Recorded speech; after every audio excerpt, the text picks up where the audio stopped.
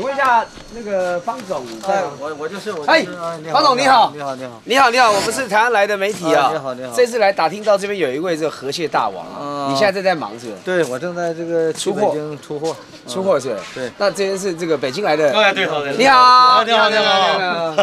觉得怎么样？觉得怎么样？他这里河蟹很好。很好。大不大？哎。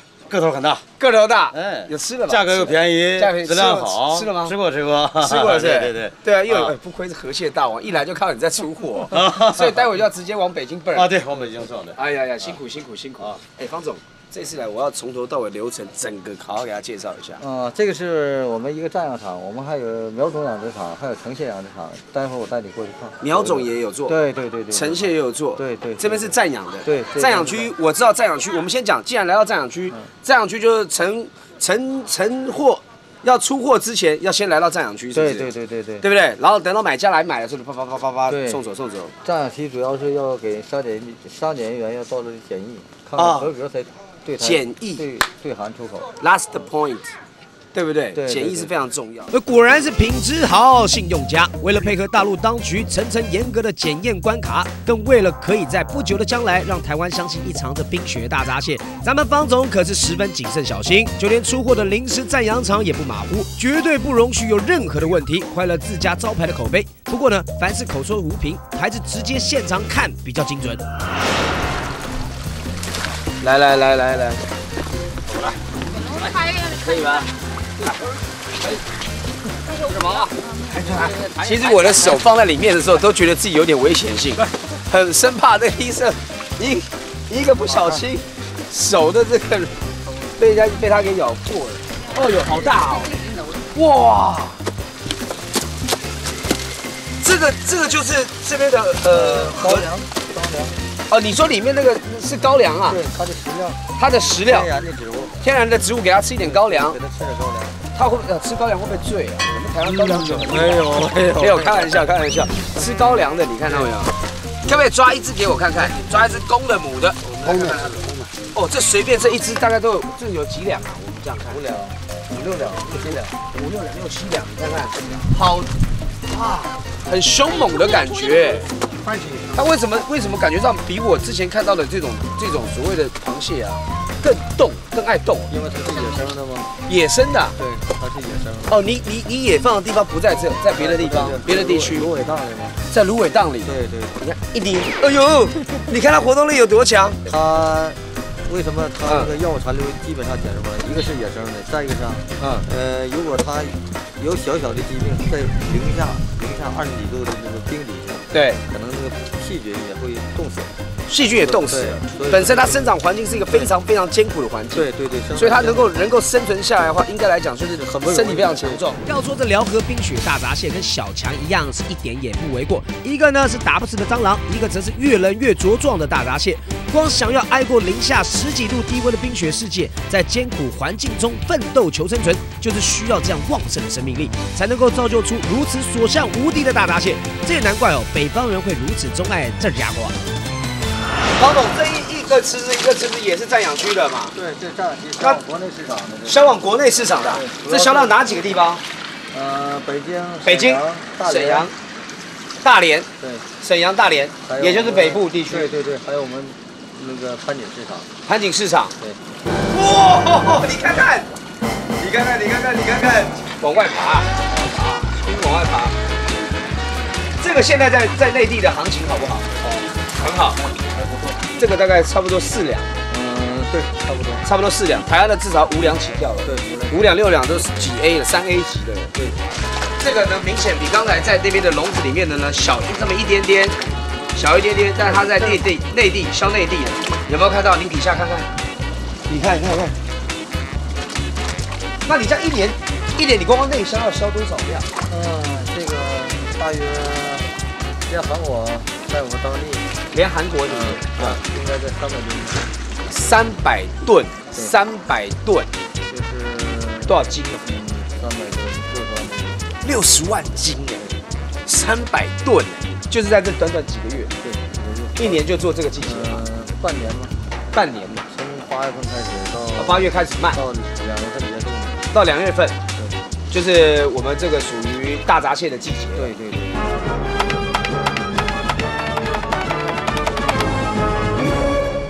的，各位观众，我是第一人主播小帅马，现在要为您播报的是二零零七年盘锦第八届蟹王争霸大赛。这是当地一年一度的大盛会，有来自四面八方的蟹王选手参加，为的就是要争夺蟹王的最高荣誉。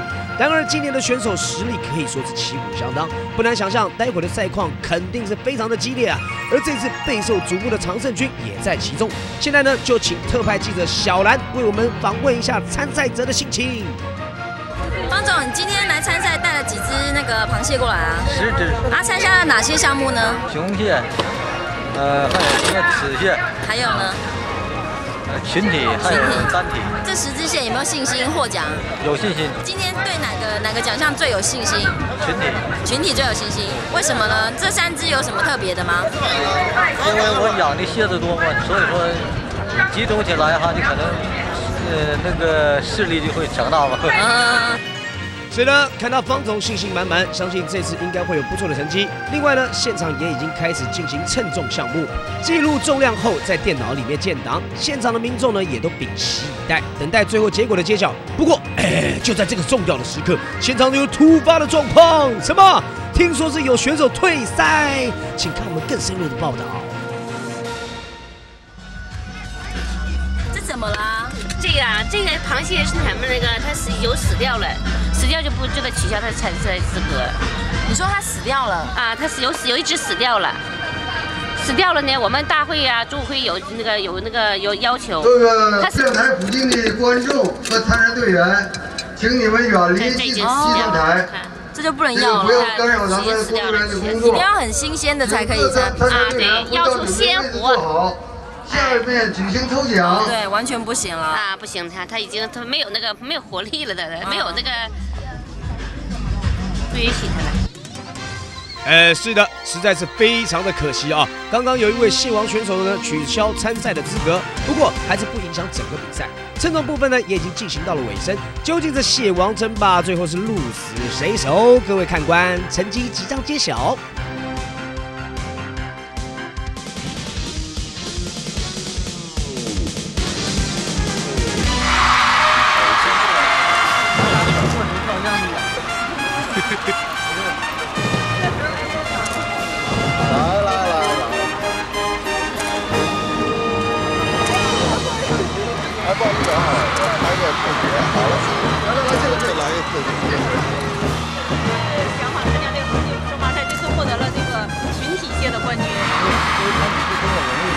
大蟹养好蟹是我们的一个所以说我们以后会一如既往继续养大蟹养好蟹，为它的蟹的职业发展。请工作人员组织一下，请工作人员组织一下。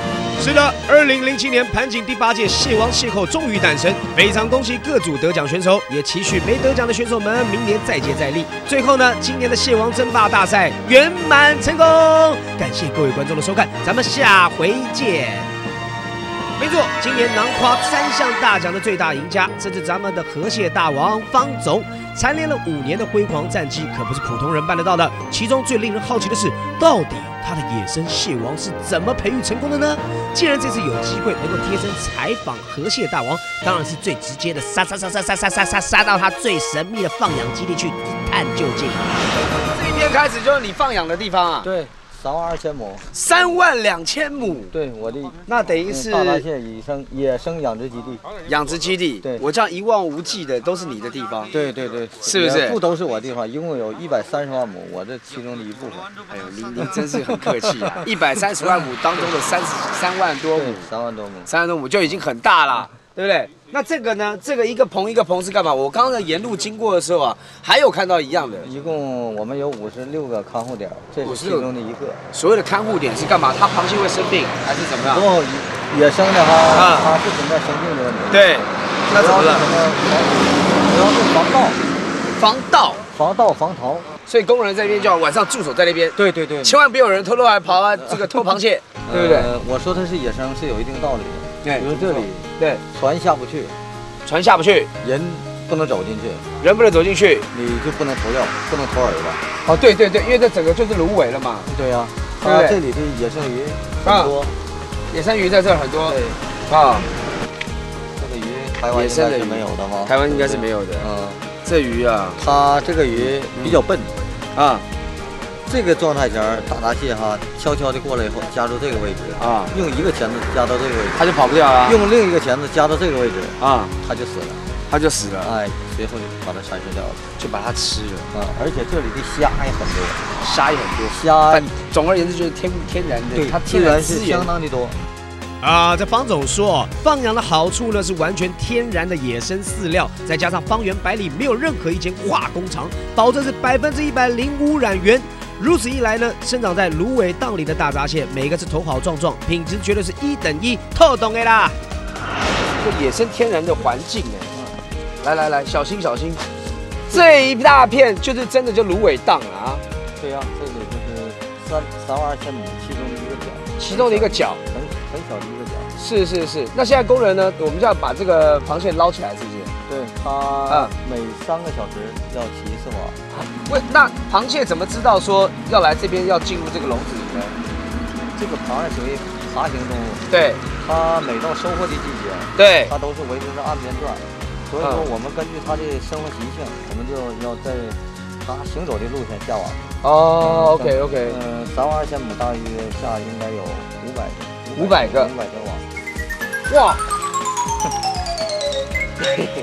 等一下，你这是怎么回事？你怎么又拿一袋巨无霸？我这一看就知道，哇，有大有中有小。来来来，我现在随手看到一个大的，我先把它抓起来。就这个，这个还算中的，这个还算中，这个还算中的。你看，你看，你看，哦，你看，看看这螃蟹，哇，力气可大的，每一次网上来的时候大概有几斤？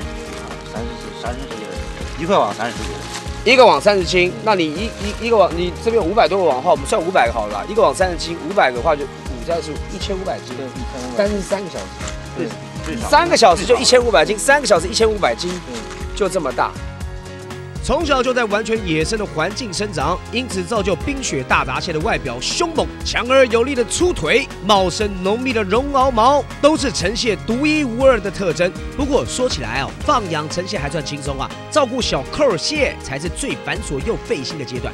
不仅呢空气要新鲜，水质要干净，还有很多离离扣扣的美嘎要注意。但是呢，这些都不算什么，最夸张的是，连他们的身后大事也要包办。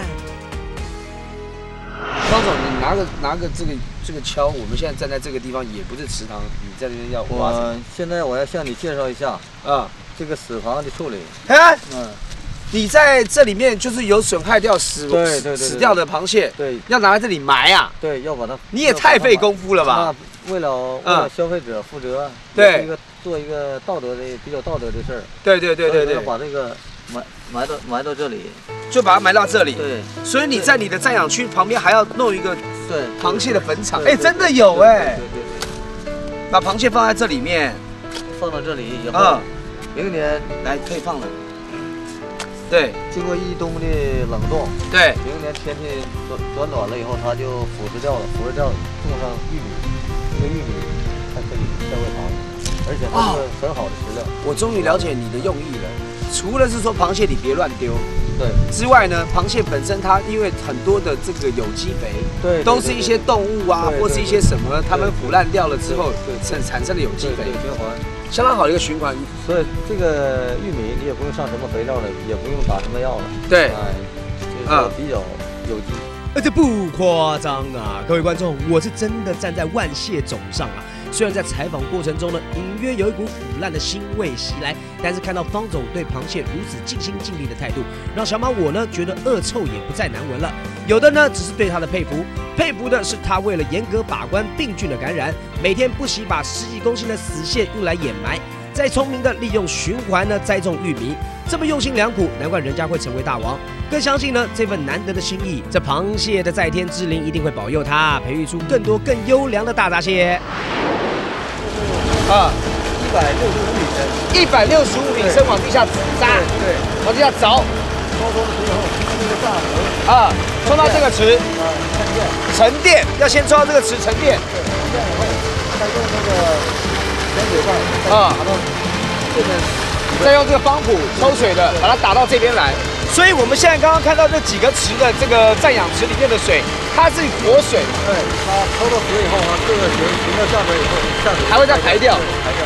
你排掉的话，就是就是说废水还会再排到外面去，就对了。对对对对。哎，你看，光光这个沉淀池里面的花草，长得多漂亮！你看看，长一点，长一点。哎，纯水啊，这是地里的地里的水，来喝一下。啊，太美了。甜，而且很冰凉，冰凉的感觉。冰柚啊，这是来自地底一百六十五公尺水深的纯水呀，井架喜火狼套心凉啊。不过说实在的，任谁也没有想到，连水源都可以讲究到这种程度。从最基本的小地方，大到外销出口，方总呢始终坚持第一品质，确保每个环节完美无误。相信呢，在大王这般细心的照顾之下，再加上舒适的环境，这里出产的大闸蟹滋味肯定是不同凡响。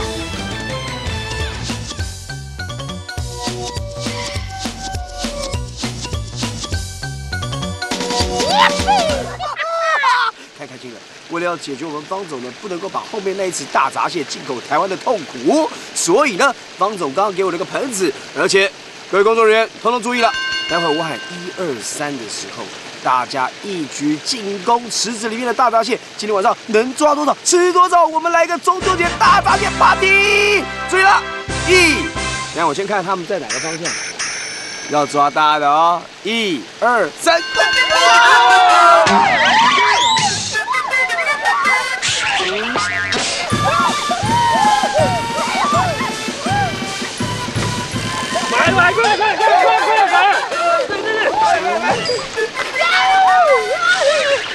你看看，你看看，这群妖西贵哦投胎的工作人员呐，一副拼了老命穷追猛抓的样子。他说好听呢，是为了这些无福消受的台湾同胞一尝大闸蟹的美味，其实呢，还不是为了私心，想好好犒赏下自己的五脏庙啊。不过这也不能怪他们，因为这野生冰雪大闸蟹的魅力实在是无人能挡。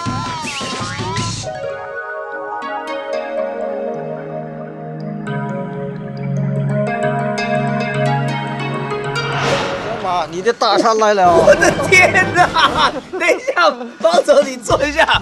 你这是怎么样？人生呢，三十四年来啊，首次有看到这么大一锅大闸蟹。哦，今天就让你吃个够，吃个够，是不是？我是代表两千三百万同胞啊，来这边品尝一下。好，我先来给你。来来来，切一下，切一下。哎，这有炸过的啊，我把它绑起来。哎，为什么这上面有字啊？会议中的客人来了，我没有准备吗？所以说，这是你蟹身上可以文字吗？这可以文字的。这是戒。哎，这是我们那个世界的界。你该不会弄出来还有世界第一等吧？肯定有这。哎，这个比我觉得比南方防伪标记还来厉害。防伪标记还有假的嘛，对不对？这个磕着起来，你看，在这个蟹壳上面居然有字，哎，我的天哪，太厉害了！来找我看，找我看，找我看。各位，这是借一一难。它这边呢，上面有好比说这个，哦，有这个旭海大闸蟹，中秋节快乐，对不对？然后这边也可以刻这个心想事成，对不对？只要是任何你觉得想送人的时候，你可以刻上名字。对你根据你自己的需求，我们就可以满足你。说到这位方总，果然是很有生意头脑。既然想到这招蟹背刻字，不仅呢送礼自用两相宜，还可以免费为客人量身定制。据说呢，店里目前除了应景祝贺词之外，最火红的就是在蟹背上面刻喜字，在喜宴上面保证是喜气洋洋，创意十足。好香啊，各位，哼，忍不住啦。我就不顾我的吃相了。你看这个哇，又肥又大的大闸蟹。这个这个那个腿不要掰。哦，这个腿不要掰。对。好，那我现在掰的这个可以吃了。嗯，对，可以吃。好。然后，嗯，转着这个，嗯，把肚子先取下来。肚子。哦，拽着这个。哎，对。哦，拽着这一边，把肚子给取下来。对。好。把这盖子揭开。哦，肚子取下来，盖子揭开。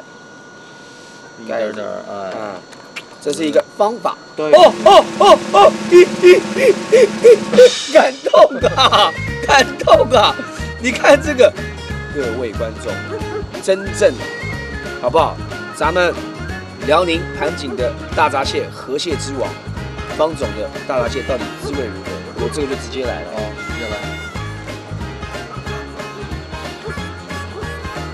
感感觉有没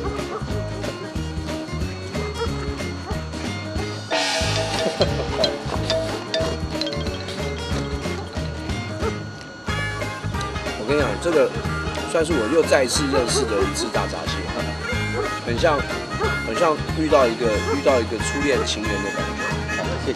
真的，品尝过堪称天下第一的冰雪大闸蟹之后，我想我再也不会爱上其他的螃蟹了，因为一生能遇上如此令人魂牵梦萦的人间极品，已经算是三生有幸了。世界第一。